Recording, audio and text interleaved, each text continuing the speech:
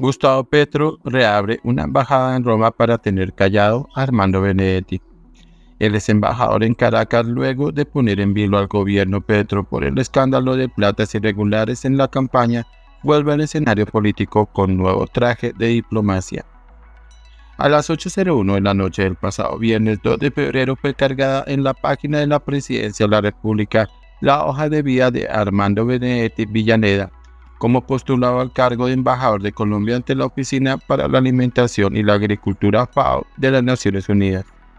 El procedimiento que en otros casos sería visto como un simple requisito formal para cualquier funcionario alborotó nuevamente las numerosas polémicas que giran alrededor de su nombre y las posibles intenciones reales del movimiento. Ese mismo día, el viernes, Benedetti habría sido citado a la Corte Suprema de Justicia para responder por los casos en su contra, pero él decidió ejercer su derecho de guardar silencio y no contestó una sola palabra. Hay quienes preguntan si al nombrarlo embajador lo quieren proteger para que la justicia no le eche mano o más bien, como todo parece indicar, el gobierno corrió a abrir esta embajada para evitar que Benedetti siga hablando de la presunta financiación irregular de la campaña de Gustavo Petro, como lo hizo el año pasado cuando le provocó serios líos al presidente.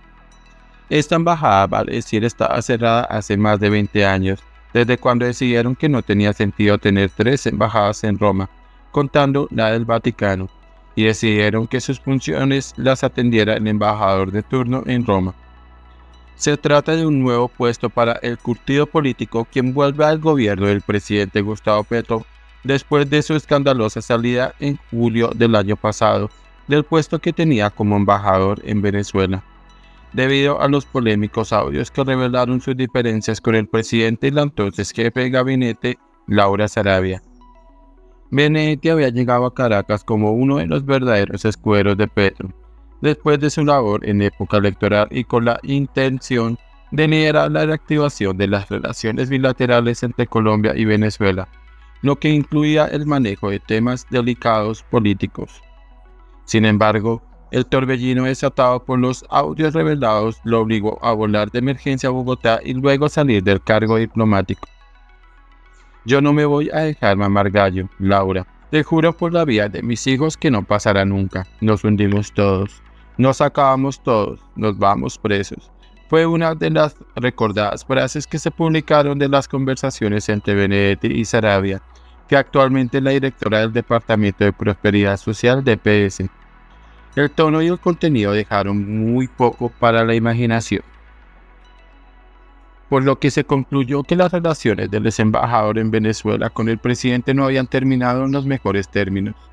Y los audios además dejaron claro que el determinante papel que jugó Benedetti durante la organización de la campaña del presidente Petro, ya que en uno de estos Benedetti se refirió a la gestión de 15 mil millones de pesos para la campaña. En otro de los apartes de las grabaciones, Benedetti le advirtió a Sarabia que en cualquier momento iba a reclamar su espacio político y dio a entender que si no se lo daban, explotaba. Aunque parece un cargo menor para Benedetti teniendo en cuenta que se rumoraba de su posible llegada a la plana mayor del gobierno como ministro del Interior, el reemplazo de Luis Fernando Velasco, la reactivación del barranquillero lo pone otra vez en el juego político y ahora en un escenario internacional porque despachará desde Roma, Italia, la reciente designación además envía una nueva señal sobre las relaciones de Benedetti con el presidente Petro después de la pelea que desembocó en su salida de Caracas y plantea cuestionamientos sobre el futuro de las investigaciones que sigue la Corte Suprema de Justicia contra el ex senador. Al anuncio le llovieron críticas y múltiples interpretaciones en la escena política nacional. Para algunos puede verse como una estrategia para mantener a Benedetti tranquilo, con algo de representación en el gobierno y para que mantenga un prudente silencio sobre algunos hechos que en el momento con el choque de Sanabria dijo conocer y amenazó con revelar si no se le daba el respeto que, según él, merece por sus aportes a la campaña. Algunos de los cuestionamientos tienen que ver con la necesidad real de la embajada ante la FAO y de su elevado costo, es decir, que es una oficina de la que se podría prescindir y que en realidad llevaba más de dos décadas cerrada. La pregunta para muchos es si en realidad Petro le entregó ese puesto para tenerlo contento, protegido o incluso callado. Petro reabre la embajada ante la FAO solo para darle el puesto a Armando Benedetti. Esa oficina fue cerrada hace 21 años y ha sido atendida sin ningún problema con la embajada ante Italia todos estos años, señaló el periodista y abogado Melquised Torres a través de su cuenta de X. Torres, quien es uno de los constantes críticos a todos los movimientos del gobierno Petro, además dijo que estar en la FAO, aún sin embajada, vale unos 8.500 millones anuales, que reabrir la embajada costará otro dineral, sin ninguna necesidad real, y que muchos países no tienen embajador en la FAO y atienden desde sus embajadas en Italia o en el Vaticano. Pero el señalamiento más llamativo es que según Torres, al ser una embajada en un organismo multilateral, los postulados no necesitan aceptación de ningún gobierno y, si lo hubiese nombrado en la de un país, corría riesgo de ser rechazado. Esto en relación a los centros judiciales que tiene Benedetti. El envío a Italia también tiene otra lectura política y no de menos importancia. Algunas voces críticas del gobierno sugieren que fue una manera inteligente que halló el presidente para mantener a Benedetti lo más lejos posible de Laura Sarabia de quien dice no lo quiere ni ver ni en pintura y que incluso lo responsabiliza de haber inducido a su ex niñera María Luis Mesa a denunciar lo del supuesto sometimiento irregular a la prueba de polígrafo, en el caso denominado el niñera gay. La coyuntura del anuncio se envió también para revivir un polémico video en el que el canciller Álvaro Leiva, hoy suspendido por la Procuraduría, se refiere a Benedetti en medio del escándalo de su pelea con Sarabia, a Benedetti, ¿cómo se le puede creer? Es increíble. Él mismo dice, yo soy un drogadicto. Pónganse ustedes a pensar, ¿les parece que esa puede ser una buena fuente? Por eso pusimos el acelerador a fondo y en tres horas se cambió, dijo en esos días Leiva al hablar de la salida de Benedetti de Caracas. El mismo viernes 2 de febrero, por ejemplo, Benedetti fue citado a la Corte Suprema de Justicia por la magistrada Cristina Lombana para ser interrogado sobre presuntas irregularidades que son investigadas hace varios años y que se habrían registrado en 2010. En estas, entre otras cosas, se señala el nuevo embajador ante la FAO de haber solicitado coimas a maestros de la región Caribe para ayudar a agilizar el pago de pensiones.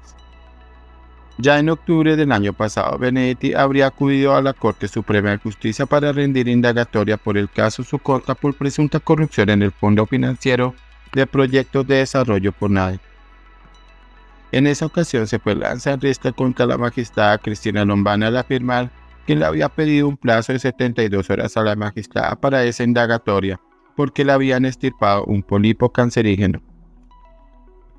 Lo de la Corte Suprema es un proceso de posible tráfico de influencias e interés indebido en la celebración de contratos en FUNAE. A Benedetti lo investigan por cometer los posibles delitos de lavado de activos y enriquecimiento ilícito.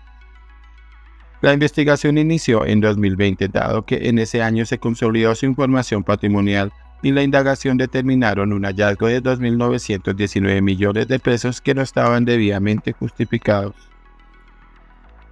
La sala de la Corte ha insistido en que Benedetti estaría implicado en intermediación irregular y el cobro de coimas, con los delitos de interés indebido en contratos y tráfico de influencias. Los señalamientos son hechos con bases en el análisis de interceptaciones telefónicas y otras pruebas documentales.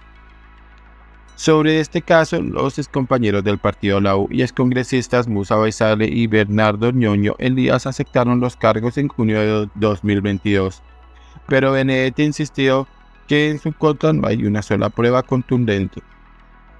Este, sin embargo, no es el único proceso activo importante que enfrenta Benedetti, pues este ha sido relacionado al escándalo por supuesta financiación ilegal de la campaña del presidente Petro en el 2022.